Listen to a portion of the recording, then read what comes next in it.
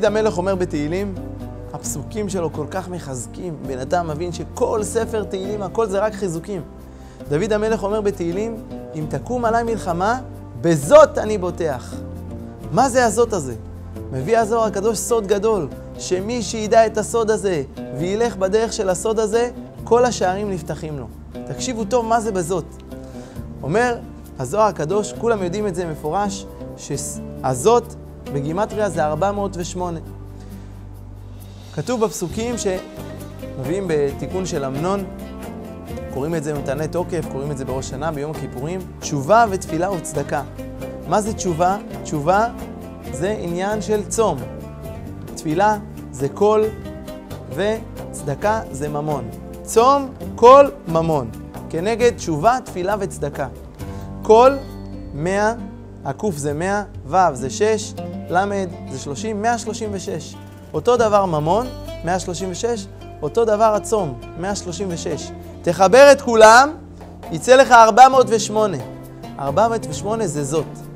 אומר דוד המלך בתהילים, אם תקום עליי מלחמה, בזאת אני בוטח. בתשובה, בתפילה ובצדקה, אין דרך אחרת להגיע לבורא עולם. רק על ידי תשובה, תפילה וצדקה. אומר הזוהר הקדוש, תדע לך, החיבור של היהודי לבורא עולם זה רק על ידי הזאת. על ידי שבן אדם עושה תשובה, תפילה וצדקה, רק אז הוא מתחבר, מתקרב, נהיה חלק ביחד עם בורא עולם. זה מה שאנחנו עושים בראש השנה, אלול, עשרת ימי תשובה, להתקרב לבורא עולם, להתחבר אליו, זה רק בזאת. אבל אומר הזוהר הקדוש עוד חידוש נפלא. תדע לך שזה לא רק אתה ואני. כל הצדיקים מימות העולם מסדור בראשית, כולם הלכו בדרך של הזאת. אומר לך אהרון, מה כתוב עליו? בזאת יבוא אהרון אל הקודש, רק על ידי הזאת. כתוב ביהודה, וזאת ליהודה. שמע אדוני כל יהודה. הכל על ידי הזאת. עכשיו, פרשת השבוע, אנחנו אומרים, וזאת הברכה. משה רבנו מברך את עם ישראל, אומר לך, רק על ידי הזאת, אתה רוצה ברכה? וזאת, תעשה זאת, יגיע לך הברכה. רק על ידי הסוד של הזאת של תשובה, תפילה, צדקה. אדם חייב לאסוף את זה. מסיים דוד המלך ואומר, תקשיבו לי טוב, חברים היקרים, תקשיבו טוב טוב. אל זאת יתפלל כל חסיד אליך לעת מצוא. כל דבר, כל יהודי, מה הוא צריך להתפלל? אל זאת יתפלל כל חסיד. כל אחד צריך להתפלל לזאת, לקבל, לזכות לעשות את הזאת.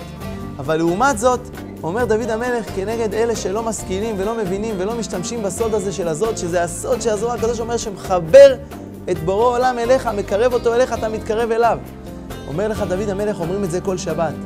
ישבר לא ידע, וכסיל לא יבין את זאת. הכסילים לא מבינים את הסוד של הזאת. הקדוש ברוך הוא נתן לך פה מפתח שפותח לך את כל השערים. שערי דמעה ננעלו? לא, שערי דמעה פתוחים. אבל יש עוד אחד, מפתח קטן, שפותח לך את כל השערים לפני ולפנים. זאת תשובה, תפילה וצדקה.